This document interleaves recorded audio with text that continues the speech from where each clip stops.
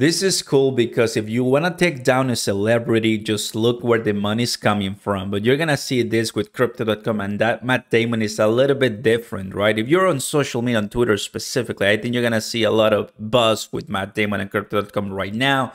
Here's what's really happening. Um, a couple days ago on March 27, this was this uh, event in LA about this movie Air, where Matt Damon and other people participated, right? And somebody asked him to Matt Damon about his, you know, involvement with Crypto.com ad back in 2021, and obviously celebrities when it comes to a partnership with companies it's it's you know what's going on but especially because crypto companies right now some of them like ftx uh, have that really bad reputation tom brady and other ones uh, all most of their fame now in jeopardy because hey come on you told me to get involved with ftx and i lost everything so you're a clown right? But what happened here is that matt damon was doing this for his charity water.org and he said at the end of the day you know and he's that really grateful with crypto.com that they wanted to pitch in a million dollars for that. And you know that's the reason why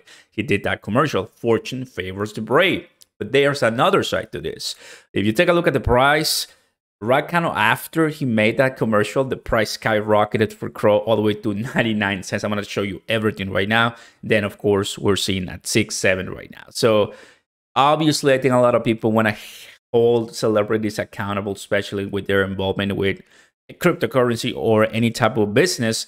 But this is cool. Let me tell you everything. Go ahead and smash the like button, everybody. Consider subscribing to the channel. Here's the video, March 27, a couple days ago in LA.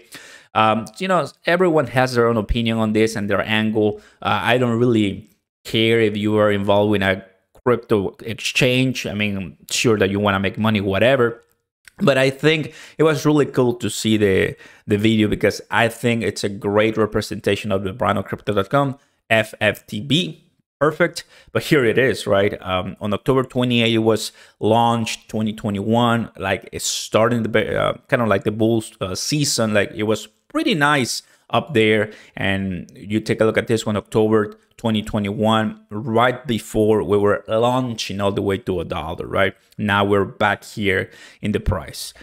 I mean you could have said hey come on before that uh, opportunity completely blasted off all the way to the moon i think it was nice timing if you were picking up on this one. Obviously became really popular a lot of controversy as well and backlash kind of pa- participating with an exchange that it wasn't coinbase or whatever other exchange right? But right now the greed and the prices that we're seeing yesterday 29000 bitcoin obviously kind of asking ourselves well is this really the comeback? And are we going to see more celebrities doing this for crypto companies i don't think so for the near future for the short term right because i don't think they want to get involved um, with the risks that we're seeing right now and it does seem that Matt Damon did this commercial not for his own benefit, just to help his his charity. That's it, and that was cool. I think a lot of people, the comments I'm seeing there, they're like, "That's cool, that's cool." I think finally a clear response to that involvement. Obviously, it doesn't really affect the price of crypto.com right now, what he says, but during the bull market, it was a nice marketing campaign launch to get a lot of people, to get a lot of eyeballs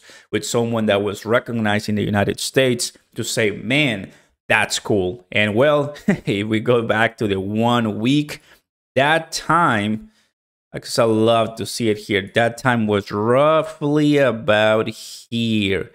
20 cents or so. So we're right here now, and it's been forever. And these levels we are going to be approaching as we continue doing what we know best For participating, staking, holding crypto.com, and the rest. This was cool, guys. I'm seeing a lot of buzz, and of course, wanted to share with you the news.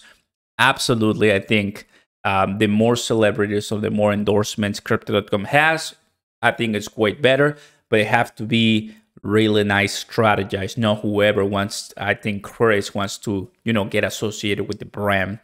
And on another note, I think eventually guys crypto.com is gonna do really well when it comes to organic growth the need of celebrity is not really the end it's not really the keyword especially in a bear market but you could imagine now that we have lebron james right participating with the brand those are those cool endorsements as later on we can use them as the bull market rises. There's still some opportunities, and hey, if there's anything, if this Matt Damon deal was any indicator that we could do much better with other different people as well in a particular bull market case, I'm sure that plus one dollar with this one helping with the pump, that will be a nice way to reach the levels that we want to see. Now that we know this, obviously, I think we can be able to profit really well on those days to come. I'll see you next time, everybody. Like and subscribe. It's pretty cool. Peace.